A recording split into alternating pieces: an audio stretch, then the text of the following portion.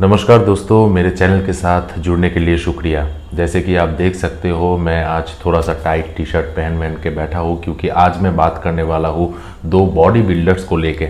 एक body builder है मनोज पाटिल, जो एक्स मिस्टर इंडिया रह चुके हैं, और दूसरे बॉडी बिल्डर है साहिल खान, जो एक सोशल मीडिया इन्फ्लुएंसर है, एक एक्स बॉलीवुड एक्टर भी है। इनकी एक मूवी आई थी स्टाइल बोल के, जो आपने देखी होगी, और उसके बाद वो सोशल मीडिया में काफ़ी ज़्यादा एक्टिव है। काफ़ी दिनों से मैं नोटिस कर रहा था कि साहिल खान उनके इंस्टाग्राम प्रोफ़ाइल में कुछ वीडियोस दे रहे हैं जो मनोज पाटिल को रोस्ट कर रहे थे। जो मनोज पाटिल का मज़ाक उड़ा रहे थे, ये बोल रहे थे कि मनोज पाटिल बहुत ज़्यादा स्टेरॉयड लेते हैं, वो फेक मेडिसिन देते हैं, लोगों को स्कैंडल करते हैं। ये सारी चीज़ें बोल रहे थे और इन सारी वीडियोज़ में मनोज पाटिल को डिसरेस्पेक्ट किया गया था, मनोज पाटिल को साइबर बुलिंग किया गया था।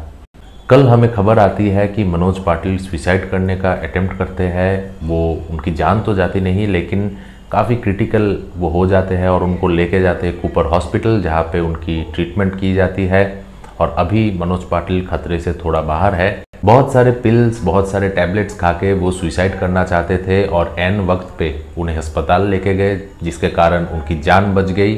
इन्होंने एक सुइसाइड नोट भी लिखा था मनोज पाटिल ने, जिसमें इन्होंने साफ़ साफ़ ये लिखा है कि साहिल खान उनके मौत के ज़िम्मेदार है और ये अभी मुंबई पुलिस के हाथों लग चुकी है, ये सुसाइड नोट अभी कुछ ही घंटों पहले साहिल खान आए थे और उन्होंने एक प्रेस कॉन्फ्रेंस की थी, जहाँ पे कुछ लड़कों को लेके वो बैठे हुए थे और उन्होंने ये बोला है, उन्होंने ये दावा किया है कि मनोज पाटिल कुछ इलीगल ड्रग्स वो बेचते थे, जो एक्सपायर्ड ड्रग्स है, वो बेचते थे और विटनेस के तौर पे साहिल खान ने कुछ लड़कों को उनके साथ लाए थे और वो लड़के आके ये बोल रहे थे कि मनोज पाटिल ने उनको चीट किया है। मनोज पाटिल ने जो फेक सप्लीमेंट्स है, जो फेक मेडिसिन है, वो इन्हें बेचा है और जब पैसे की बात की गई, तब मनोज पाटिल ने उनको पैसे देने से मना कर दिया।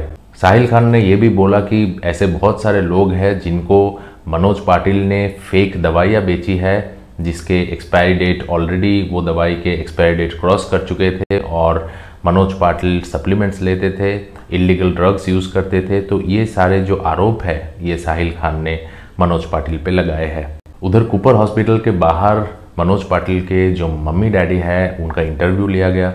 मनोज पाटिल के जो मम्मी है, उन्हें देख के बहुत ख़राब लग रहा था। लेकिन अगर हम मुद्दे की बात करें तो मनोज पाटिल ये जो ड्रग्स है, वो बेचते थे। ऐसा साहिल खान दावा कर रहे हैं और साहिल खान कुछ विटनेस भी लेके आए हैं जो ये दावा कर रहे हैं। अगर ऐसा हुआ कि मनोज पाटिल का इन सारी चीज़ों से कोई भी नाता नहीं है, लेकिन उसके बावजूद साहिल खान उनको साइबर बुलिंग करते थे, साहिल खान उनके घर जाते थे और उन्हें परेशान करते थे तो साहिल खान के खिलाफ कार्रवाई होनी चाहिए। लेकिन मुझे ऐसा नहीं लगता क्योंकि बिना वजह कोई किसी को ऐसा हैरास नहीं करता है।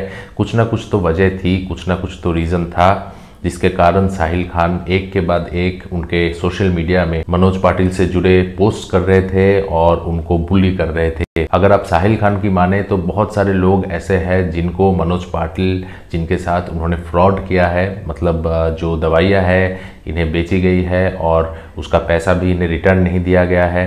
तो ऐसे बहुत सारे लोग हैं जिसके कारण साहिल खान बोल रहे थे कि उन्होंने मनोज पाटिल को बुली किया।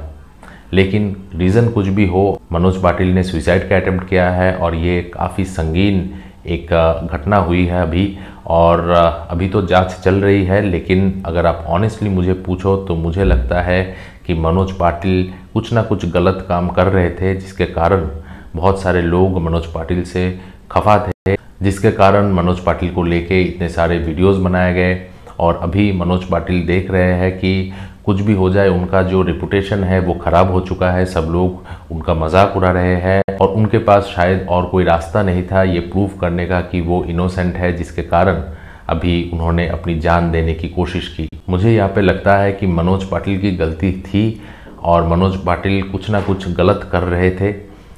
ये मेरा ओपिनियन है। आप लोगों को क्या लगता है? मेरे वीडियो के कमेंट सेक्शन पे ज़रूर लिखिए। अभी मनोज पाटिल जब अस्पताल से डिस्चार्ज हो जाएँगे, उसके बाद मनोज पाटिल क्या बोलते हैं, क्या स्टेटमेंट देते हैं, वो देखने वाली बात है।